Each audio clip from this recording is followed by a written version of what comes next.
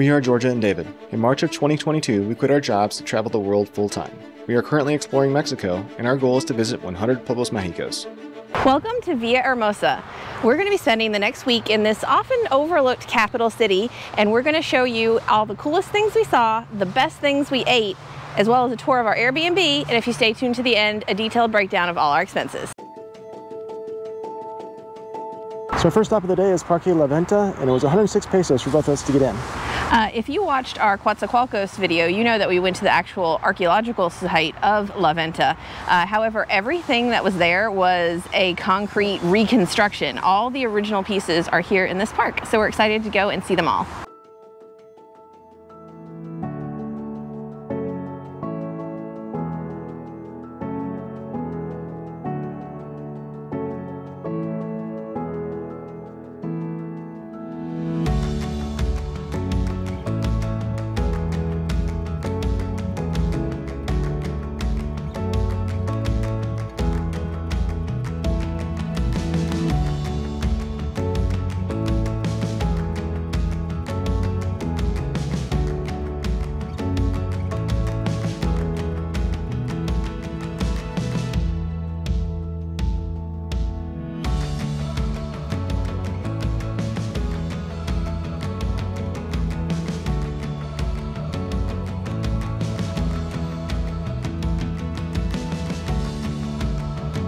So these Olmec carvings date from 1200 to 400 BC.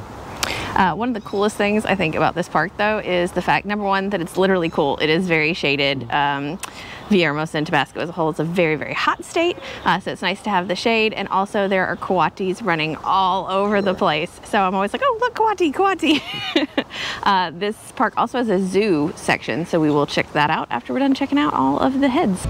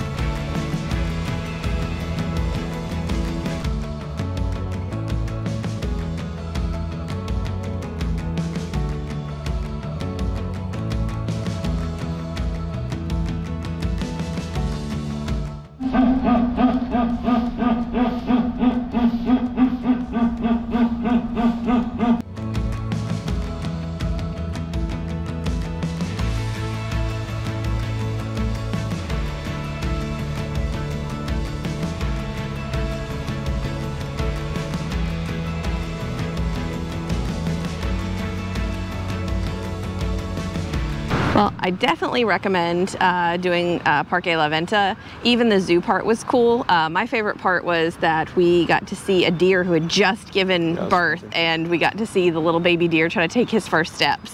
What was your favorite part? Uh, I like the uh, monkeys that were running around like in the uh, open area. Yeah, they had some uh, spider monkeys. Oh, they also had the panthers and the, the jaguars. Uh, the panther actually made uh, some noises uh, while we were there. I didn't know that that was the noise that they made, so that was really interesting. Mm -hmm. And now we're in Parque Tomas Canabal. Uh, this park is free and it runs along the river. It's actually like kind of wraps itself around the La Venta Park. So we're gonna check it out.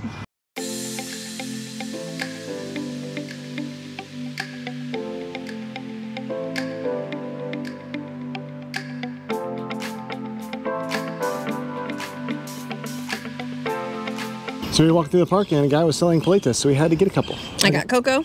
And I, Oreo. And they were a little expensive. They were 40 pesos each, but they're bigger than usual.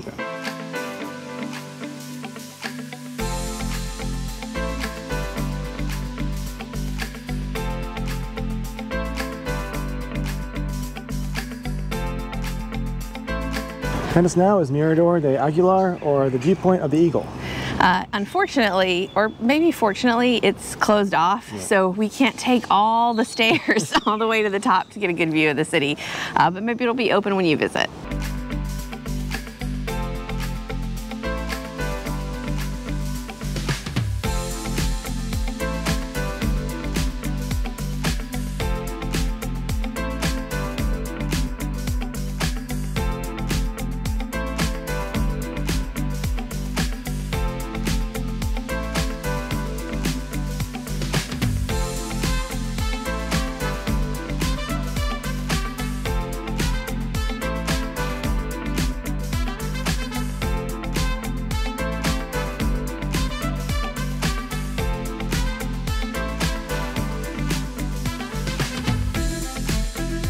So the cool building behind us used to be the Museo Elevado, or the Elevated Museum.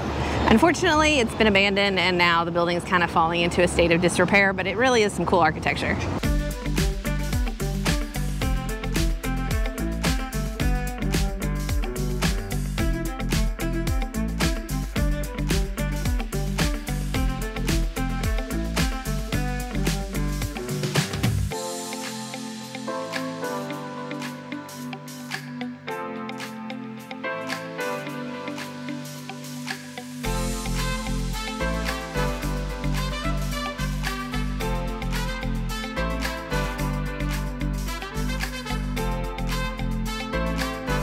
So now that we finished up at both parks, it's time to get something to eat. And we are headed to a very highly rated restaurant nearby. It is, however, a Japanese restaurant. We will be definitely trying some of the local specialties in the area later in the week, but right now, we just want some Asian food.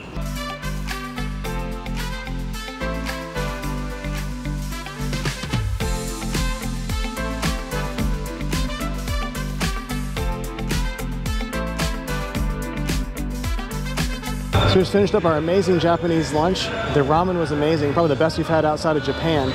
And uh, the pot stickers are great as well. And it was in a really small uh, little blue house. It's kind of different. Yeah, it was in a residential neighborhood. So at first we thought we'd, we'd gone somewhere wrong, but no. Uh, and it was so amazing. The broth was really thick and rich. The noodles were handmade. The char siu was great super recommend it if you're in the area and want some Japanese food, uh, or if you're in Mexico and you want some Japanese food. The last time we had ramen, I think, was in San Cristobal, and it wasn't as good as this one. Uh, but now we have come to the main church, which is the Catedral de Senor de Tabasco, and we're going to see if we can go inside and check it out. This week is Semana Santa, so there is a lot going on.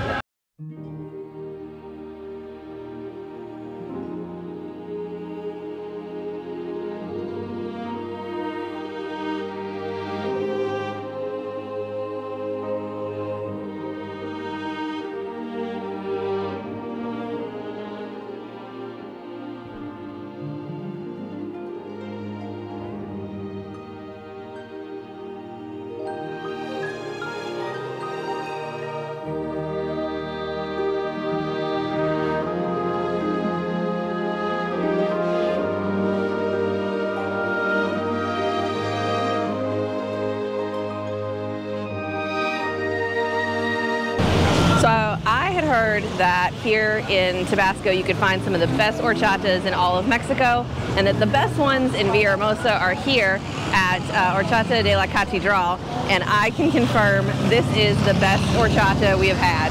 It is thick, it is creamy, they actually blend it with ice so it is super cold and really, really delicious.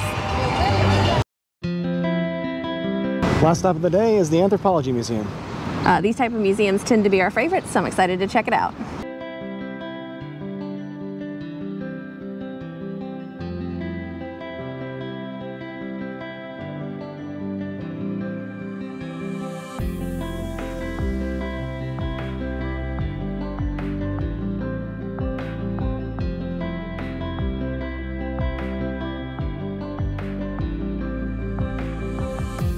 We enjoyed this museum. It wasn't huge, but the pieces they had on display were very high quality.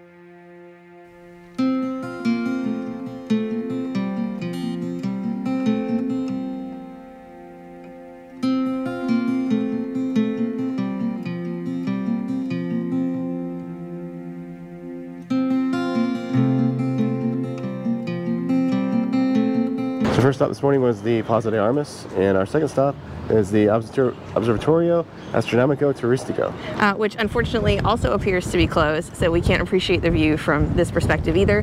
But the bridge here also has a great view. Uh, our next stop is going to be check out the church that is at the Plaza de Armas. However, today is Good Friday, so I'm going to assume they're having service. We may not be able to peek in, but we'll go check out the outside at least.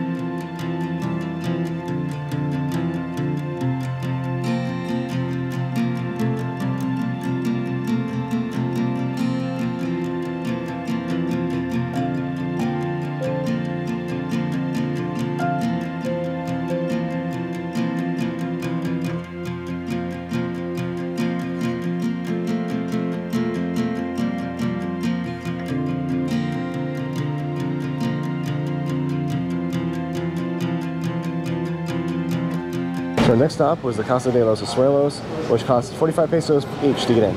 Uh, the museum is small, uh, but they have different tiles in every room, and it is pretty beautiful. Um, the there was actually a girl at the door who had us do a little survey about our whole experience in all of Villahermosa, which I thought was neat. They're obviously trying to ramp up tourism, and this museum happens to be located in the Zona uh, Luz, uh, which is a series of streets that are all pedestrian only and have some bars, restaurants, shops. Uh, we've checked it out a few nights in a row now. It's, our Airbnb is super close by. Um, and so we're going to show you around a little bit before we head on to the market.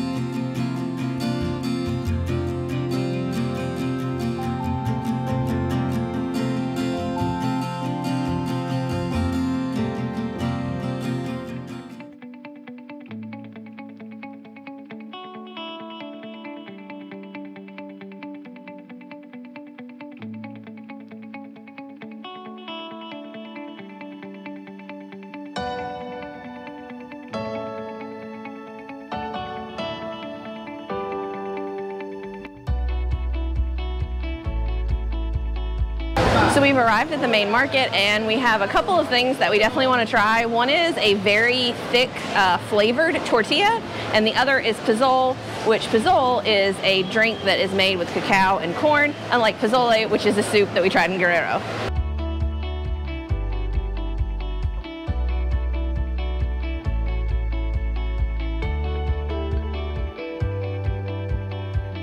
The pozol. These were just uh, 15 pesos each. I got one with sugar and one without. It's a little bit bitter from the cocoa and it's a little bit thick from the corn, uh, but I like it. I think it's a good flavor. All right, try the unsweetened. This one's a lot more bitter and you taste the chocolate a lot more, but I like them.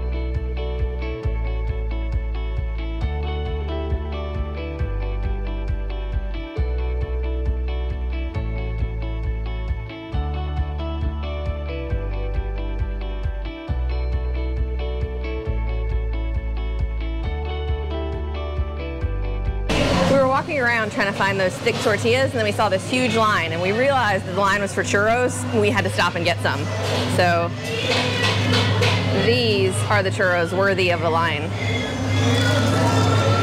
Oh, wow. They are super crunchy. And they almost have like a airy kind of, almost like the uh, coating on like fried chicken. But it's very different than the other churros we've had, and it's absolutely delicious.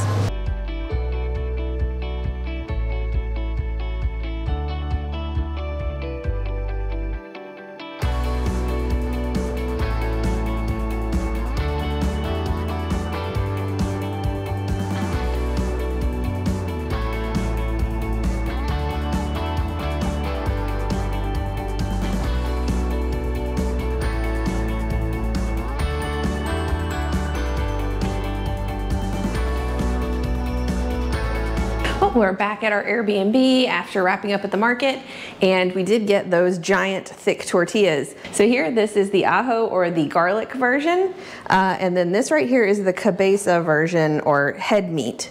Um, the lady did tell me that the most popular version was the chicharron, but after waiting in that long line, she said there would be an additional wait for the chicharron. So I decided I'd just go ahead and get the cabeza. Um, I am planning to cook these up for dinner with a little bit of egg, uh, but I'm gonna try it plain right now to see how they are. Mm. That a ton of flavor. It is salty, it's fatty. I do taste a little bit of garlic and onion. That is really yummy. Let's try the garlic. The garlic flavor is super strong. Um, it tastes like a really strong garlic bread. And then of course you get that hint of corn. Um, it was cool to see them grinding all the corn fresh and then making all these by hand. So really delicious. And I think we got both for just 70 pesos. So pretty affordable as well. This was our Airbnb for the past week in Villahermosa. We had parking across the street. You can see David's loading the Jeep right now. Up these stairs. And a few more stairs. This was our apartment. So you come in the front door, you can see we had nice little living room. Unfortunately, there wasn't a TV in here. Here we have a full bathroom. And then this is the room we used to charge things and store things. Had an AC unit, but it did not work.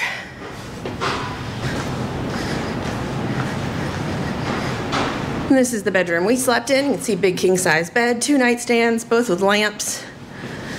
Closet space with a little area for me to do my makeup. There was the TV, powerful AC unit in here. Full length mirror, and another full bathroom. Back out to the living room, you can see we had full dining room, cool little wine rack, and then a very large kitchen. Unfortunately, that light up there did not work, so it was pretty dark if I tried to cook at night, but overall, we definitely liked the place. Comfortable Airbnb set us back $616. We spent $97 on transportation, $77 on entertainment, just $58 on bars and alcohol, $497 at restaurants, and only $62 on groceries. I didn't cook very much. That grand total, $1,407, or $201 per day.